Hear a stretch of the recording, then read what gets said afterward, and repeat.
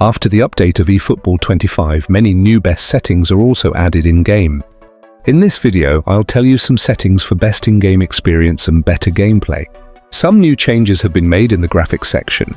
Now you can even set the graphics of the crowd on higher resolution.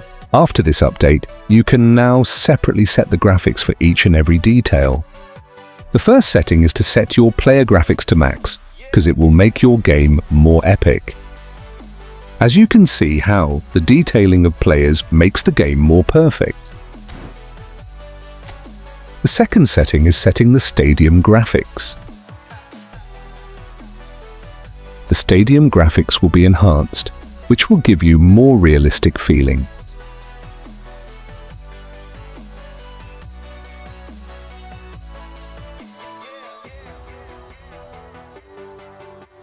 As you already know, frame rate is changing of frames per second, and for better experience set it on 60 FPS or higher if your phone supports it.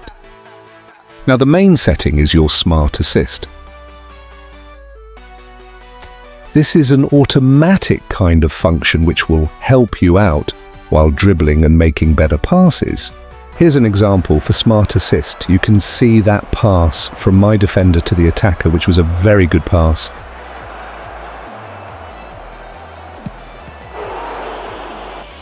These were some changes and settings regarding your gameplay improvement.